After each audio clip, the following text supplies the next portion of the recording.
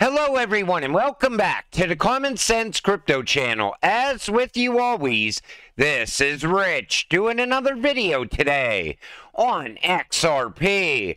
So I hope you're all having a wonderful day today, wherever you are in this great, great world. We're going to talk about XRP, and once again, this is the seven day chart. We're sitting here just above 57 and a half cents.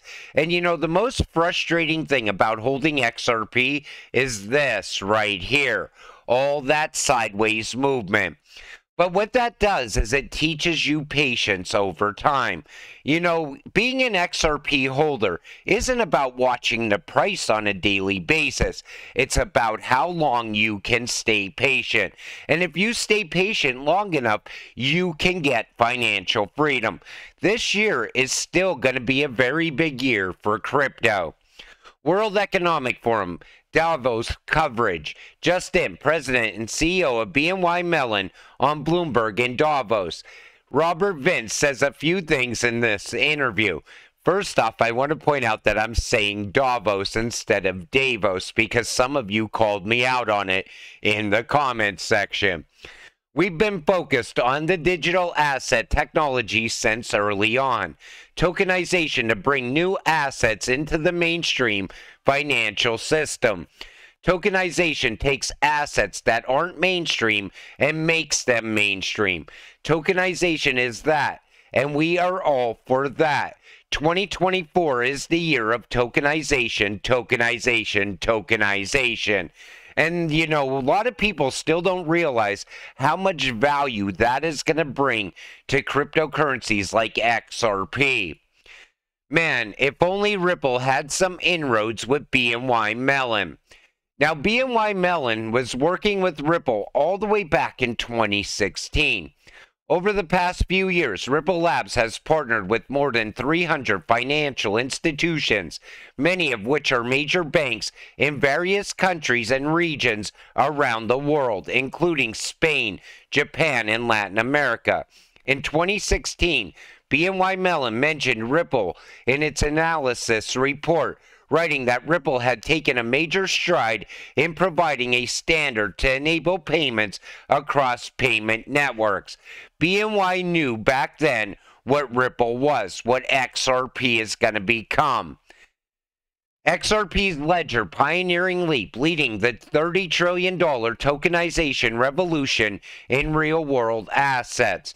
One thing I want to point out XRP is not tokenizing things tokenized real world assets are going to be stored on the XRP ledger. They're going to bring value to the ledger, which will be reflected in the price of XRP. The XRP ledger is increasingly being viewed as a pivotal platform for the tokenization of real world assets. David Schwartz, the CTO of Ripple, has expressed optimism about XRP's role in this emerging field, particularly in the tokenization of assets like real estate and commodities. This move is seen as a game changer for the blockchain economy with the potential to significantly drive its growth. One of the key advantages of XRP Ledger in this context is its low transaction cost, making it an attractive platform for initiating tokenized real world assets. And everybody's going to want to base their tokenization venture on cost. They're also going to most likely look at security as well as we move forward. But I could see a lot of tokenization happening on the XRP ledger. That's how we could also see a three digit XRP. Ripple CTO clarifies XRP drama. While we're on the topic of the XRP ledger, David points out about the security. Schwartz took this opportunity to delve into the specifics of the XRP ledger's functionality, particularly addressing the partial payments feature, which was central to this incident. He's talking about the incident that happened on Bitfinex, where they tried to steal 30 billion XRP. He stated unequivocally that the incident was not due to any flaw or vulnerability in the XRP ledger. Instead, it highlighted the utility and security of the partial payments feature when used correctly. This feature, designed for complex financial transactions, allows for specification of a maximum amount that can be sent ensuring that receivers cannot be deceived by receiving less than expected. Schwartz praised Bitfinex for their correct handling of the feature, which was instrumental in preventing potential issues. He stressed the importance of proper configuration and integration for all institutions and applications using the XRP Ledger's proper payments feature, directing users to the official XRP Ledger website for guidance on secure integration. And you know, still that XRP transfer is, remains a mystery. Nobody really knows where it came from yet. But you know, that shows you how game changing the technology is around the XRP ledger as well. Larry Fink is not the only one who could talk about an XRP ETF. Listen to what Brad says here. Uh, there were a couple of interesting things after that Bitcoin ETF uh, was approved in that statement. One, and I paraphrase here, was effectively Gary, Gary Gensler saying, just because we allowed the Bitcoin ETF, don't think we're now going to allow a bunch of other crypto assets. The second interesting thing was the price of Ether skyrocketed immediately after on hopes that there could now next be an ETH ETF. Um, what are the chances of that? I think it's a certainty. I think this year?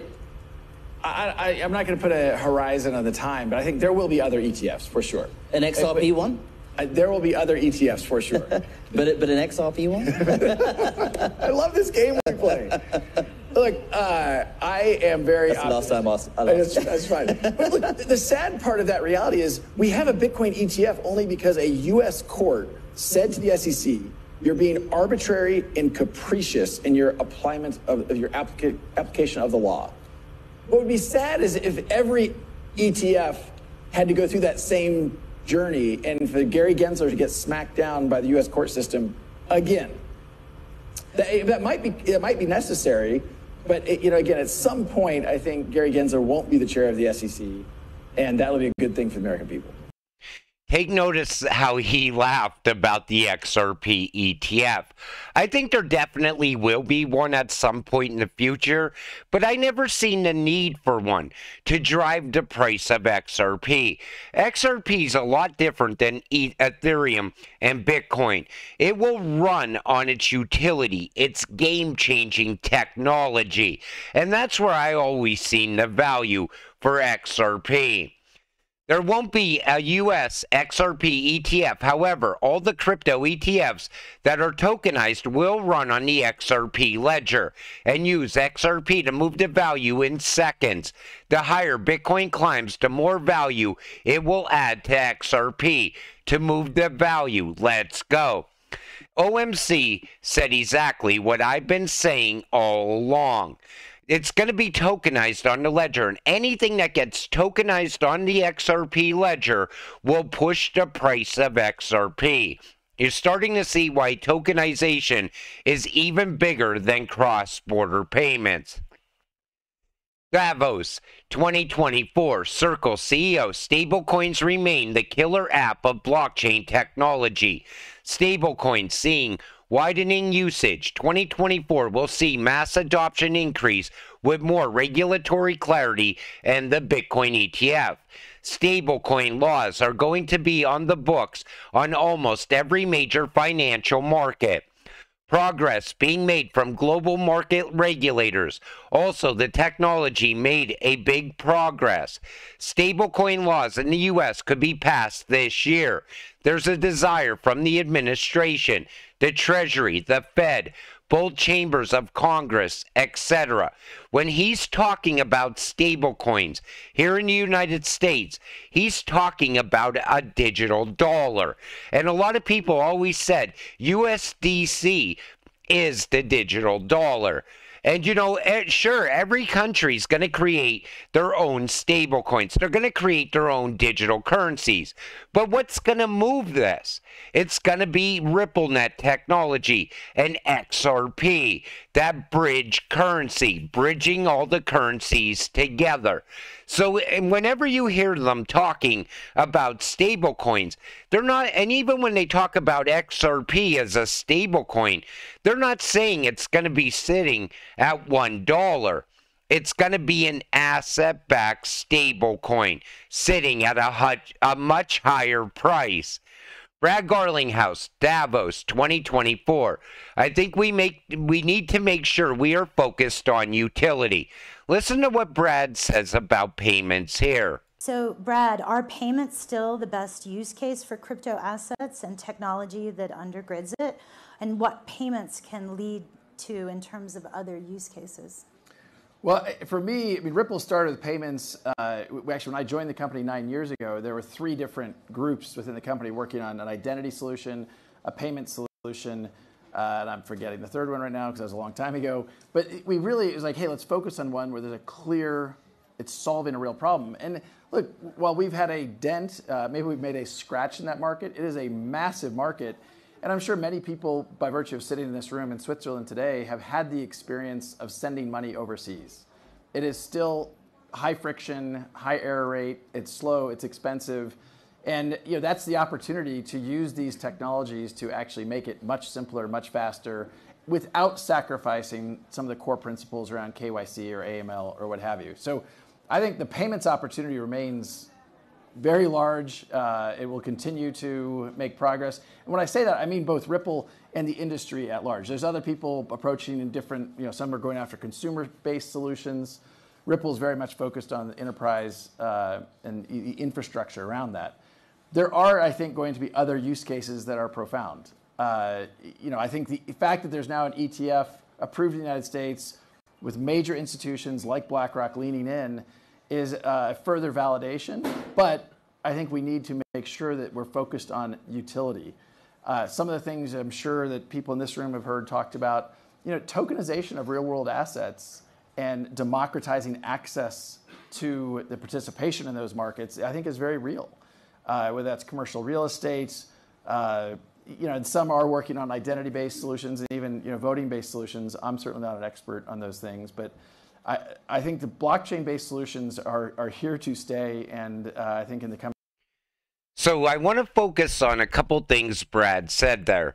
To put into perspective how big the payments market is, think of all the announcements we got from around Ripple, all the partnerships, all the payment rails that have been put in place already.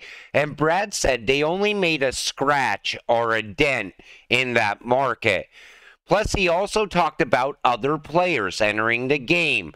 You know, it's not going to be XRP moving all the money, like I said in yesterday's video.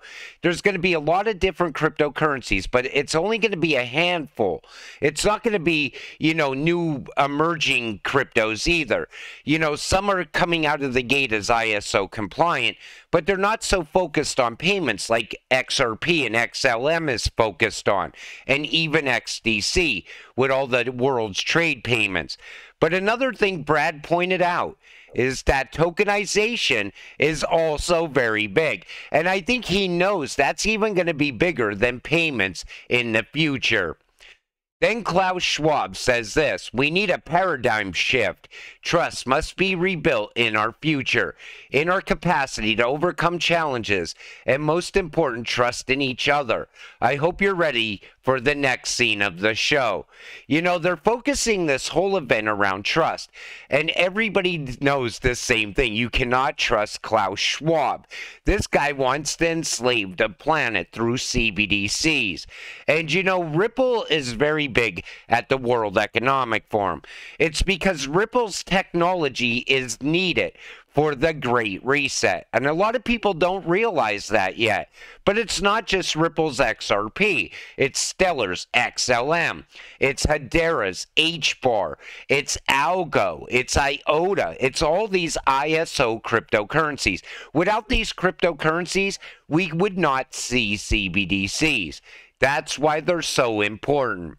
And Harvard's Naomi Oreskes says X is such a toxic place with a scary name at Klaus Schwab's World Economic Forum. You know why X is such a toxic space to the World Economic Forum and to people that work at Harvard? It's because it's a place where we come and point out exactly what their plans are. You know, this way people start to work against their plans, and they don't like that.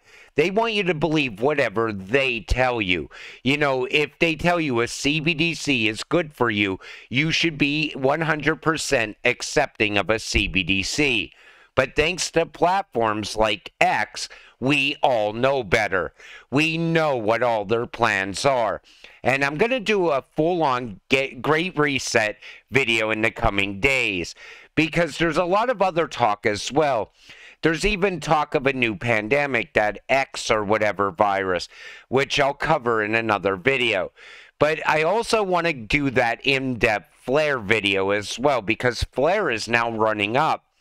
And we're going to, I'm going to start focusing around other cryptocurrencies as well you know, more away from XRP. But I do want to keep you up to date on what's going on at Davos, as, or Davos, however you want me to say it. But, you know, the way I look at it is I want you to stay focused on XRP at this time because a lot of things are happening around this cryptocurrency as well. But I'm going to highlight some other cryptos in the future. With that said, I'm going to wrap up this video. I want to thank you all for watching. Stay patient, stay positive, and let's get rich together. I'll see you in the next one. Have a great night.